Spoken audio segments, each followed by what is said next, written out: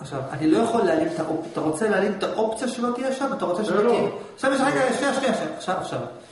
אם אני אביא לך את מה שאתה רוצה, עדיין יש את האופציה שיהיה לך רע. כי המציאות לא משתנה, לא משנה כמה טריקים תעשה. יכול להיות שתקום בבוקר ולא יהיה לך חשב לעשות כלום, כי אז מה עשינו אז? אבל יש לנו כמה דרכים איך להתמודד. דרך אחת, ללמד אותך ליהנות, גם כאשר אין לך מטרה בבוקר, אבל יש לזה עלות. כי אז אתה גם פחות תהנה כשיש לך מטרה בבוקר.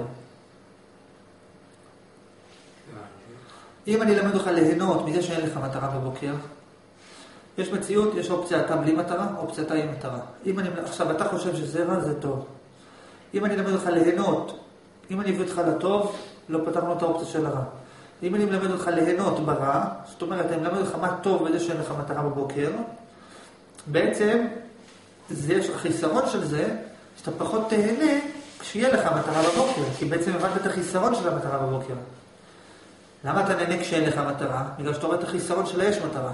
אז אם תראה את החיסרון של יש מטרה, זה שאתה תהנה פחות מזה שיש מטרה. זה אופציה אחת. בסדר, אני בעדך. עכשיו, אופציה נוספת, זה להגיע למצב שלא ישנה לך אם יש מטרה או אין מטרה. כאילו, זה לא שאני מלמד אותך ליהנות מהמטרה, אני מלמד אותך להגיע למצב שלא אכפת לך אם יש מטרה או אין מטרה. וכדי להגיע למצב שלא אכפת לך אם יש מטרה או אין מטרה, לזה מגיעים על ידי שמוצאים את היתרונות והחסרונות של כל דבר. זאת אומרת, אם תצליח ברגע אחד לראות את כל היתרונות וכל החסרונות של כל הדברים, אז הם כבר שווים. מה הבנת? בדיוק כל מה שאמרת. אז תסביר. שיש, שבמציאות יש... אה, אל תשכח שהבנת את זה כתיאוריה עדיין, לא בחוויה.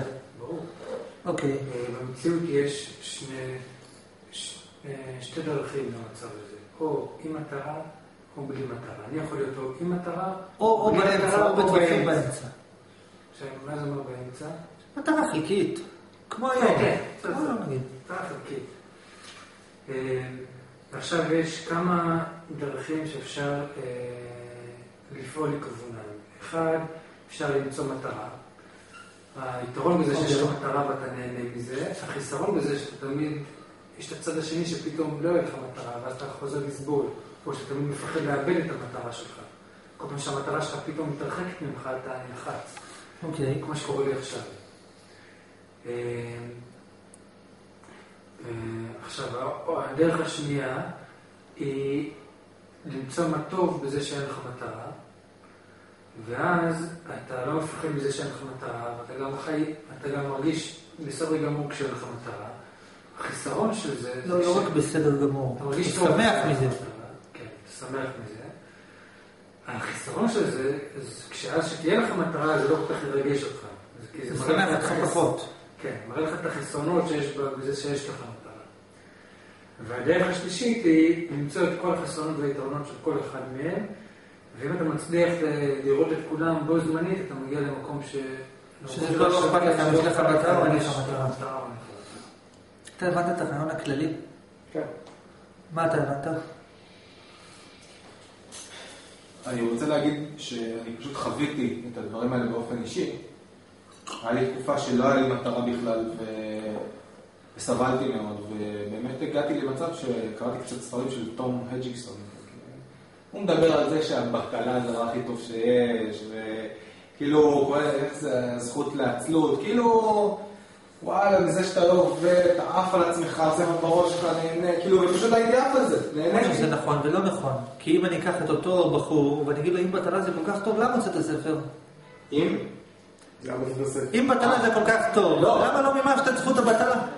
למה אתה אוכל?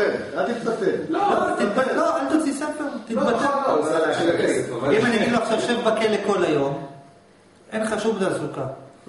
לא, אני מרגיש משעמם לי. תבין, גם הוא צריך לראות אם זה היה בקיצון. ואם זה כן. משעמם, אתה יכול לדעת, אתה יכול להשתעמם למוות. כן. לא אכפת לך, אבל אין לך מטרה. מה זה שעמום? אין לי מטרה תכלס. מה זה פירוש שעמום? פירושו אין לי מטרה. נכון? כן. עכשיו- לא רוצה עניין. נכון, לא מוצא, שום דבר פה לא מעניין אותי, אין לי פה שום תכלית, אין לי פה שום דבר שמעניין אותי. בסדר, אני רק אומר שתשים לב שגם אצלו הוא אמר טוב בלהתבטל, ולא- כי אז אתה יכול ליישם מטרות אחרות, כגון כן. ללכת לים, אז יש לך עדיין מטרות, כי נכון. אין לך שום מטרה. נכון, זה נכון. אני אומר, ואז הייתי בקצה השני, שהייתי בשלבים בחיים שהייתי מאוד מוכוון מטרה, ללמוד, להוציא תואר, לזה, להצליח בעבודה, וגם סבלתי. אה, וזהו, אני- לכן אני מבין את המקום של ההיפוך הזה, זאת אומרת שגם זה יש לו יתרונות וחסרונות, וגם זה יש לו יתרונות וחסרונות, ועדיין, אה, לצערי, אני לא באיזושהי אה, הבנה מאוד, אה, אתה יודע, אני עדיין אה, בשקר, כאילו, ב- עדיין רוצה דברים, עדיין לא שמח. לא, זה לא רע לרצות דברים. באופן יחסי, יש בזה יתרונות וחסרונות, מה רע בלרצות דברים? לא, אני כאילו, אני לא מבסוט. מעצמי, לא לא נהנה היום, כאילו, לא מה לא טוב קם בזה? בבוקר ואומר וואלה טוב לי. יש טוב בזה, יש גם דבר טוב בזה שרע לך. יש גם דבר רע בזה שאתה אומר טוב לך על הבוקר. נכון, יש הכל, יש הכל. יש הכל. לא, רק אז מה, אז מה, אז מה, אז מה? אז אתה בסוף מגיע לתחושה של ריחוף, ואז אתה סגרת את הסיפור. טוב, בוא נתקדם איתך. הלאה. איך אתה נוחת? ריק- טוב, תכף, תכף נדבר על זה בנפרד, בסדר? טוב, דבר, תמשיך. זהו, סיימתי את ההסבר. לא, אוקיי, אז מה עושים? בסדר, אוקיי, אוקיי, אז בוא נמשיך הלאה. אז מה אתה רוצה של איפה אתה רוצה שנתקדם? תתחיל מההתחלה, אני כאילו, רוצה- ותגיד איפה אתה רוצה אני שנתקדם. רוצה להתקדם בדרך של אה, של, אה, עכשיו מרגיש טוב עם זה שאני. ש- שאין לי מטרה. אוקיי, מה טוב בזה שאין לך מטרה? קודם כל, אתה לא דובר אמת לגמרי. כי יש לך מטרה למצוא מטרה. נכון. יפה, אז אין לי מטרה זה דבר גדול. מה זה אין לך מטרה? זה אם אין לך שום מטרה, אז יש לי מטרה. לא יש לי. מטרה, להרגיש טוב. יש לך מטרה או למצוא מטרה, או להיפטר מזה שאתה רוצה מטרה. יש לי מטרה להרגיש טוב, אני רוצה, אני מוכן להשיג אותה. זה אותו. דבר. אוקיי, בסדר, בסדר. להרגיש טוב פירושו להיות מרוצה מהדברים כפי מה שהם. נכון. אוקיי. עכשיו, איך אנחנו נוכל להיות מרוצים מדברים כפי מה שהם? בעיקרון, אז תבין אם זה יחזור לך עוד פעם. אתה אומר, אני רוצה להגיע למצב שאני אהיה מרוצה מהדברים כפי מה שהם באשר הם. או לא? לשנות קצת. לא שאלתי אם יש לך בעיה, אמרתי, אתה, אתה בסוף מה אתה רוצה להגיע, בסוף. יש מה אתה צריך לעשות כדי להגיע. מה. שאמרת עכשיו זה תקף עד לפני שבועיים. לפני שבועיים אמרתי כבר, כאילו, כי כל הזמן חשבתי, טוב, אני רוצה להגיע למצב שטוב לי כפי שאני, לא משנה מה אני עושה, לא משנה מה זה. ובשבועיים האחרונים איבדתי אמונה בעניין הזה. אמרתי, אולי אני כן צריך, לא יודע מה, לצאת יותר... לא, אבל זה לא סותר את מה שאתה רוצה בסוף. לצאת יותר כדי שתהיה מרוצה ממה שאתה, מהמציאות שלך. נכון, כן, כן. זה לא סותר. זה סותר? לא.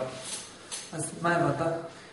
שאני רוצה להיות מרוצה מה- ממצב, מהמצב שאני נמצא בו באותו רגע. אני רוצה מצא? זאת המציאות, אני רוצה. כן. עכשיו, אתה אומר או שאני צריך לשנות את זה, או שלא. אבל בסוף מה אתה רוצה? להיות מרוצה מהמציאות. נכון.